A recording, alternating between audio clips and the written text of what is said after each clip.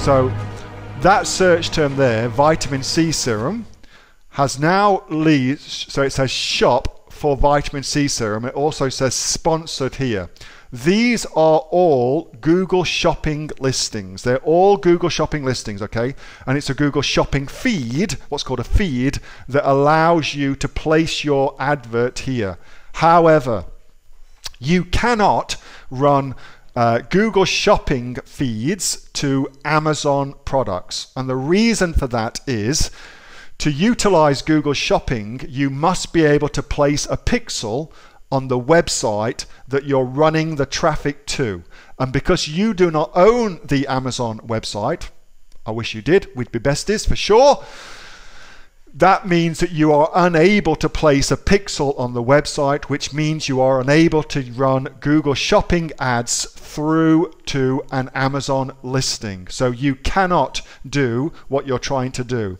However, it ain't all bad news because you can and should still run Google ads to your Amazon listing. You should definitely still do that.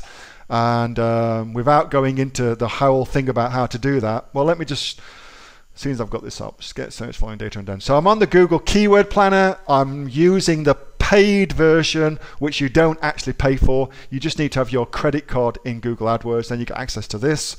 If I go to get search volume data and trends, let's do uh, vitamin C serum.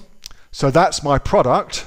Now, I want to be very, very targeted, so I'm going to put Amazon. So anybody that searches on Google for vitamin C serum, and you can see here, Amazon is a search term that comes up in the auto suggest, which means a lot of people are searching for it.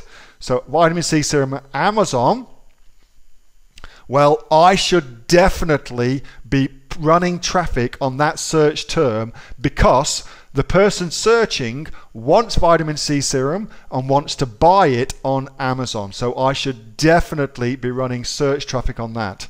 So let's just have a look at the search volume for that. Vitamin C serum Amazon. So what, 880 searches per month, which is not huge, but that's basically free money for you because the person who's doing that search wants to buy your product on the platform where you're selling it. You can put your advert right at the very top, right there, and that's a good place for you to be, of course. So that's one way to not really get around it, but to, to use Google to make additional sales for yourself. You can't use Google Shopping. However, you should still use Google to run traffic to your ads. Uh, anything else I want to say about that? You should also, as well, uh, direct link to your product rather than something else. So a direct link is, let's just cost somebody some money. Let's just click on this. so this is the product. I'm directly on the product page. And so if I get rid of all of this extra crap in the search term, I've now left with Sparrow vegetable, strongest, heaviest, gluten-free, DP, oops, and then the ASIN number there. That's the link I'm going to use on my Google AdWords ads as my landing page. So I'm directly linking to the product page. So that's how you would do that, Jeremy. Uh, I know that's quite a little lot of information in a short amount of time, but that's how you go about doing that. That's the best way to, to run Google AdWords traffic. And there's a whole raft of reasons why that's the best way to do it, but that's for another time. Hey, thanks so much for watching that video and I hope that you got some massive value from it. Before you go, do you live in Australia? If you do, this is for you. Would you like to learn how to sell things on Amazon here in Australia? Would you like to know what sells really, really well and what sells for the maximum amount of profit?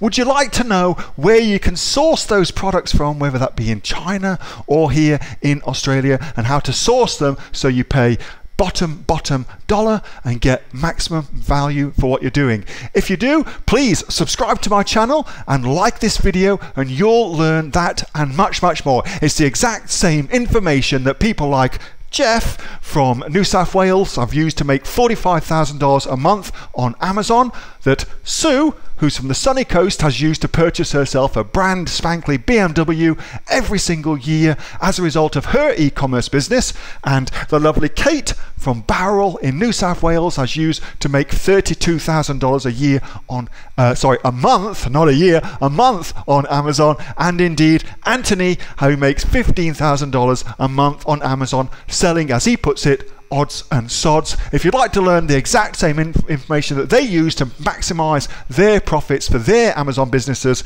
subscribe to this video, like my channel, and post below if you want me to teach you something. Okay, I'm out of here. Speak to you soon. Bye. Subscribe. Subscribe. Do it now.